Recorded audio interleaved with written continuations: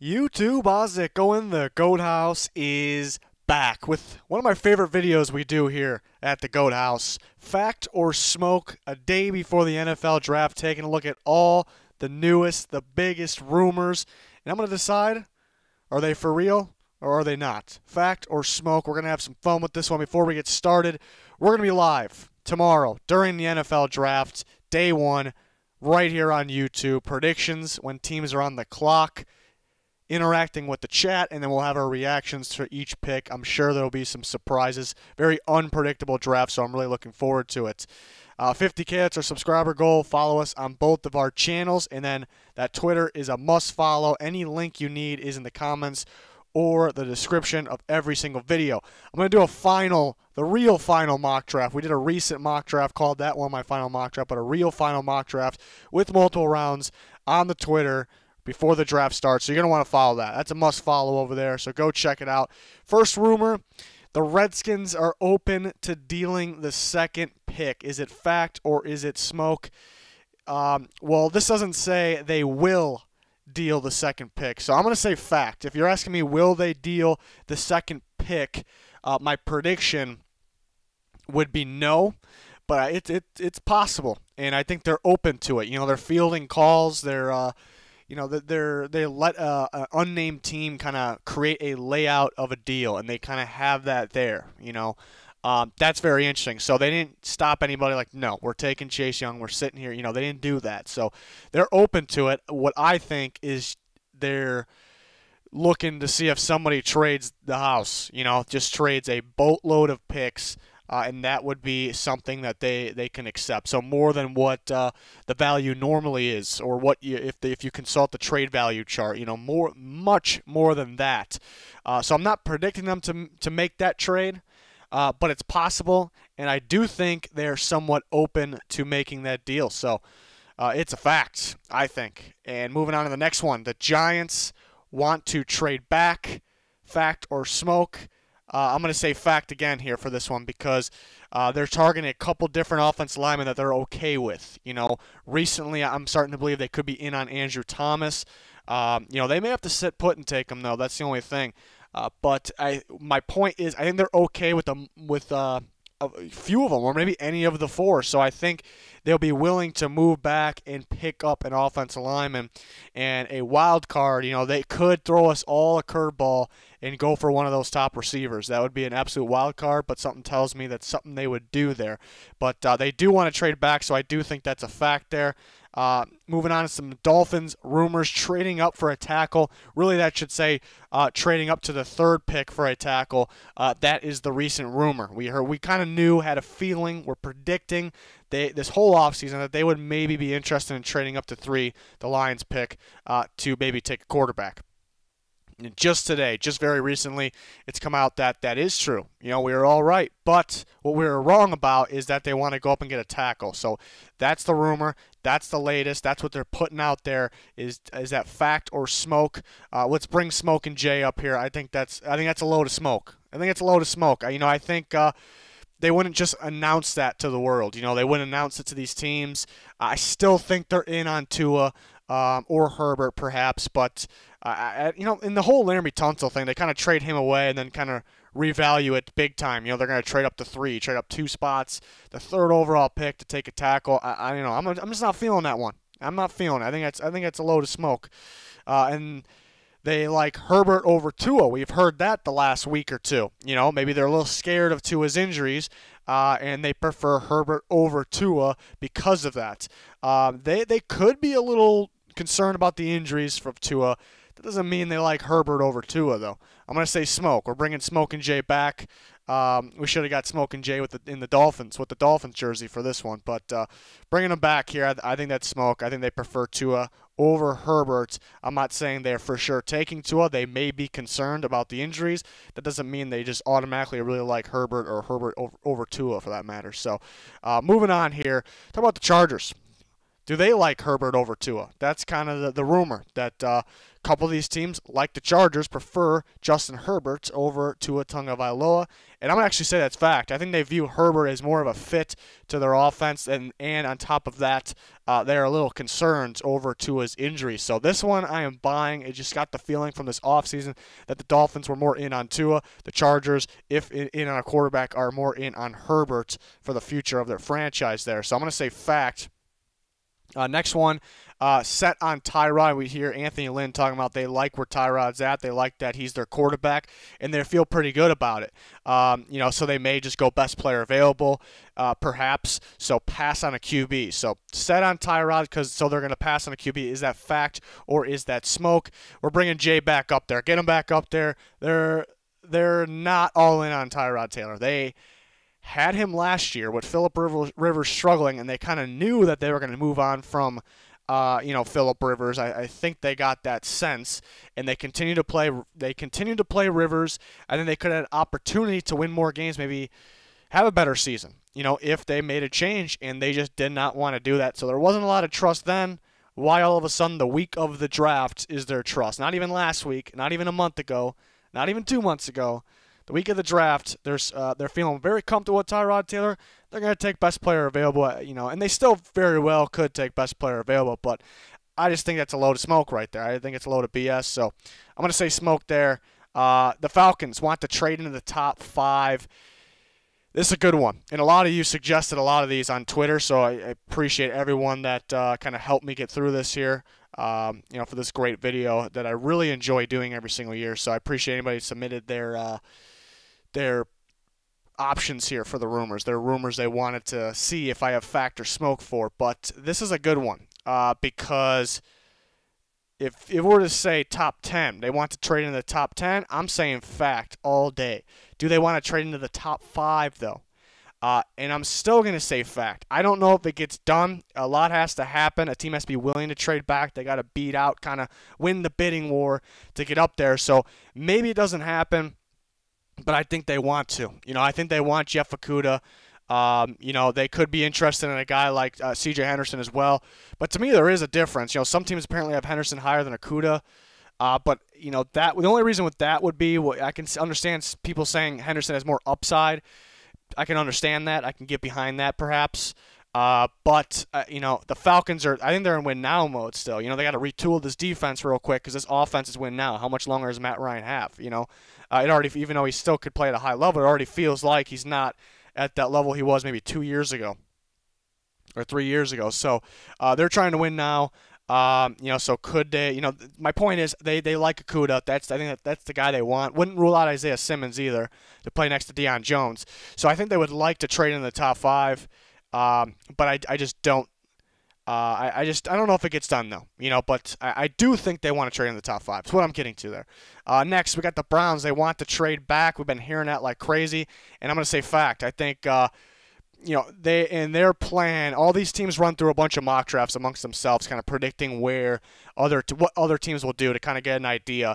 And I think through their scenarios, uh, there's there's a run on tackles like we all expect pretty early, and the Browns pick at 10. That's pretty early. Uh, but the guys that they like, which are probably two of the top four that they really like, uh, they're projecting to be gone, and they don't really want to trade away picks to go up and get them.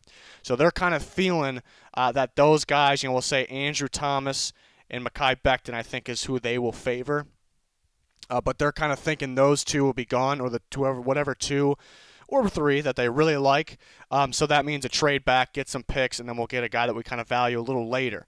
So I'm I'm buying that, but uh, I don't. I'm not saying they're for sure going to trade back though, because what if one of those guys is there and they're going to take him? That's a it's a can't miss guy if they stay put and take that guy. Um, but then the question is for Ezra Cleveland, do they want to trade back for Ezra Cleveland? It's a tough one. Uh, but I'm going to say smoke here. You know, they, they're just kind of making it known. Everybody kind of knows this. They want to trade back for Ezra Cleveland. It's, it's you know, it is the Browns. I know they have a different front office, but if they, you know, taking Ezra Cleveland in the first round is kind of one thing. It's nothing too terrible, but then kind of letting the world know that that's your plan, that's kind of another level of uh, terrible, I guess.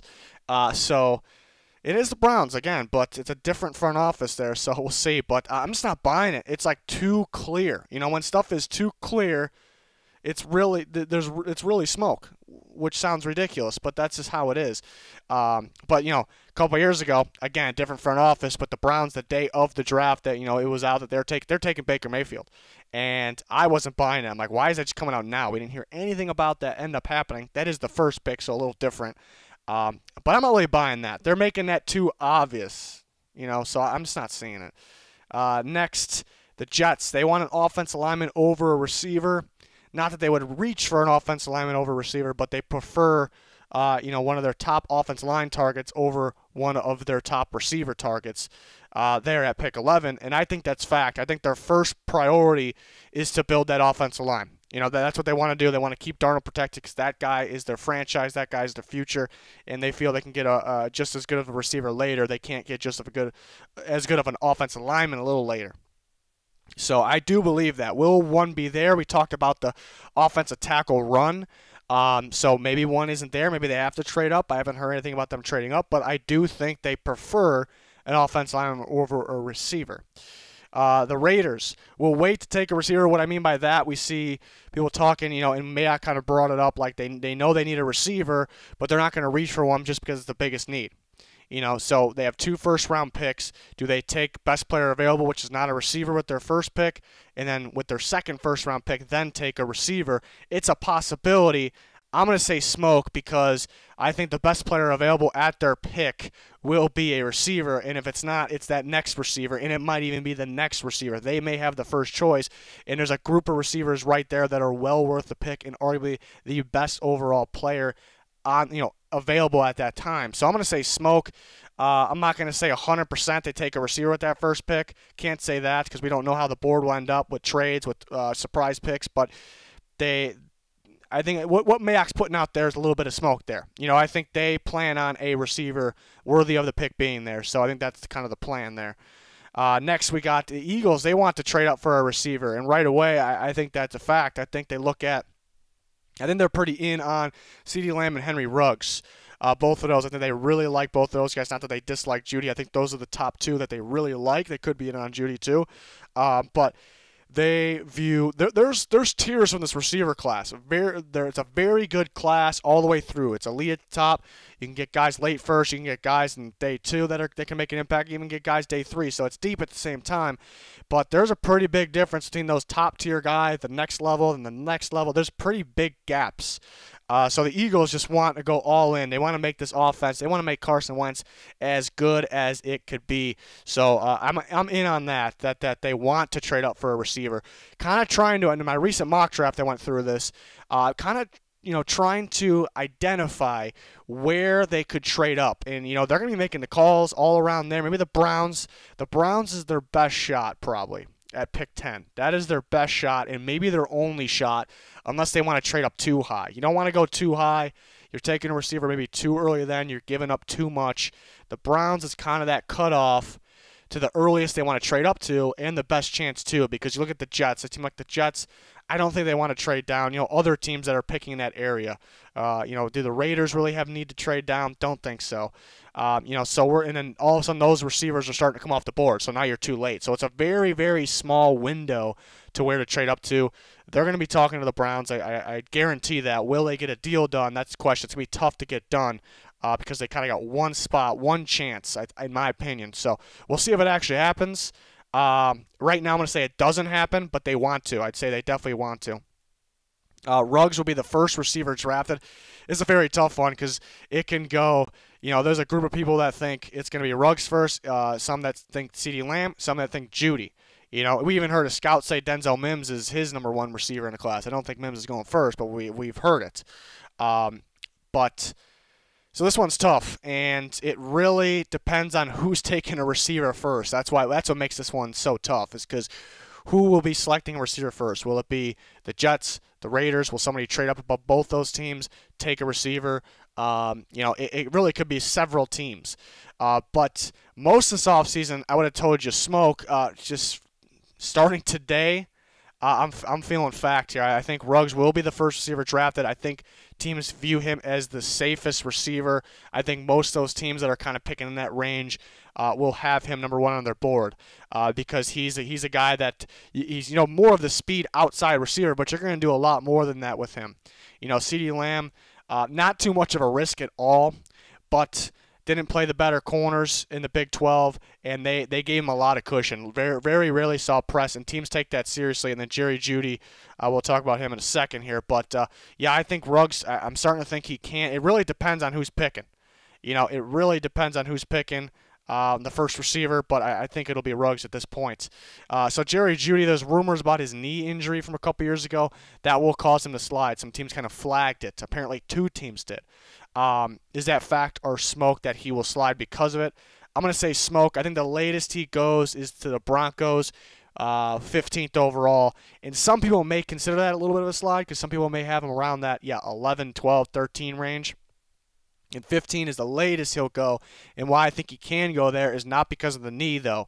Um, so that's what makes this smoke. Um, I, I, think it's just because the run on tackles, uh, just how just how the draft every year kind of just you know shapes because of what the surprising moves or trades, the run on tackles, like I said, uh, and then he could be the third receiver off the board, so that can things like those, like just the just the draft by default will push him down to 15, which isn't really a slide, um, not because of his knee. You know, I you know if you it's funny because if you somebody were to ask you like who do you think has the most healthy you know has the healthiest knees just based on the way they play you know the first guy i think of is jerry jeudy just the way he plays so that was kind of funny but uh, it's something i guess the you know that team should be at some point concerned about but um, you know for the most part i believe he's checking out i think it's some smoke um, to get teams scared really um, so I, yeah i definitely say that smoke uh, next we got it's pretty much the same situation. You know, wear in the knees uh, will cause Javon Kinlaw to slide a little bit here.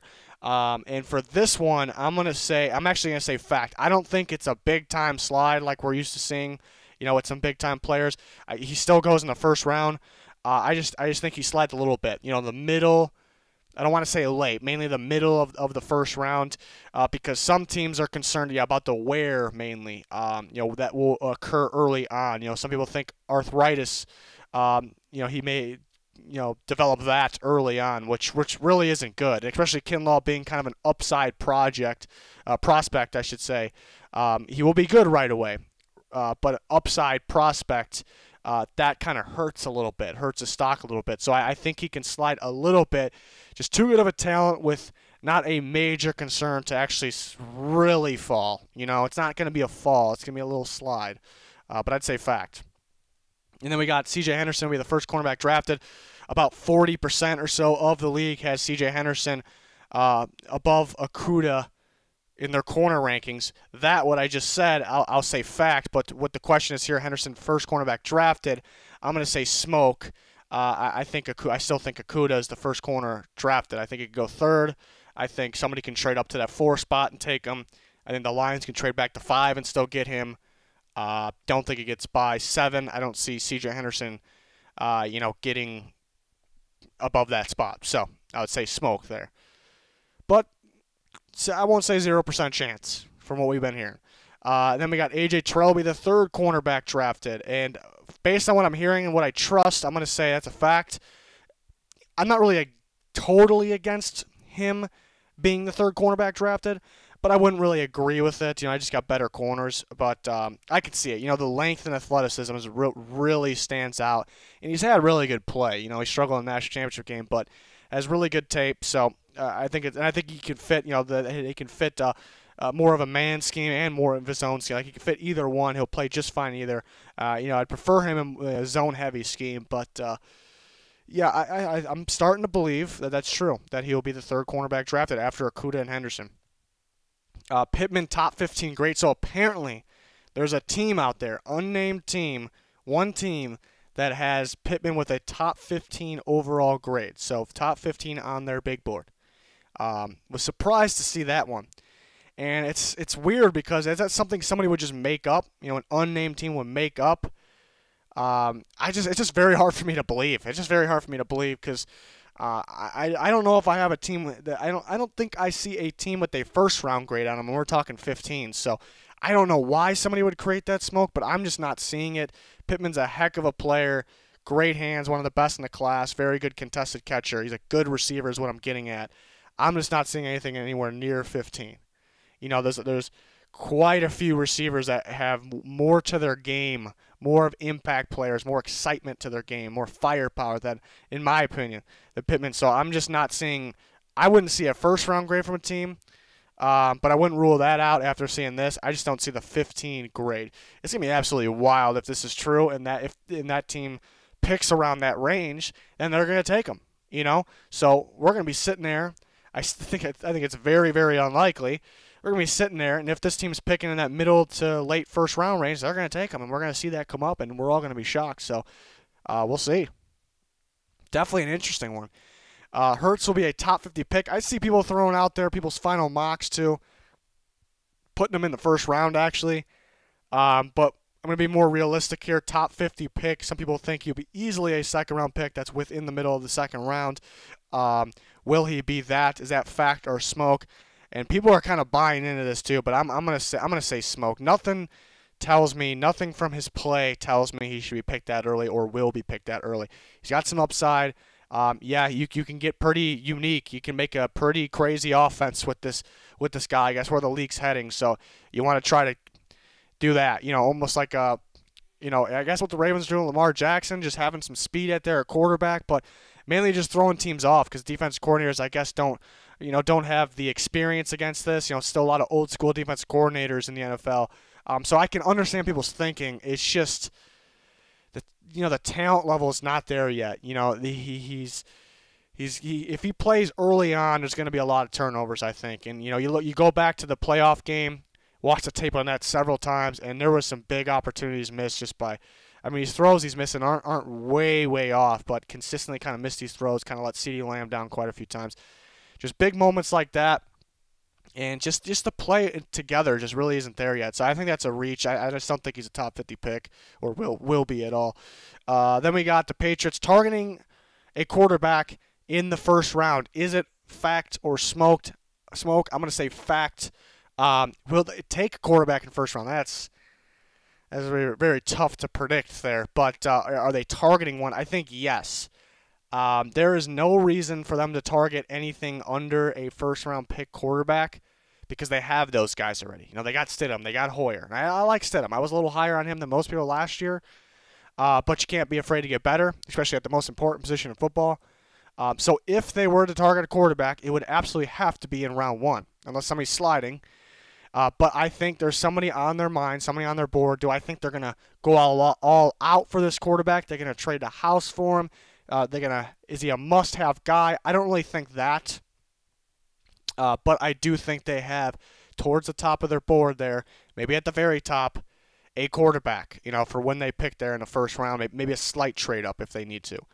Um, so that's an interesting something definitely to look out for here, on day one. Uh, and then the Niners and the Vikings. Weird. Both these teams who have two, they both have two first round picks. I've heard that both teams could be interested in moving both of their picks, both of them. Um, so that is pretty wild if true. But I'm gonna I'm gonna say smoke on that one. I think it's very likely we see both of these teams trade once. I just don't see I don't see either one trading twice. Um, you know the Vikings are they pretty much can't help themselves from trading, so I, I guess it's possible.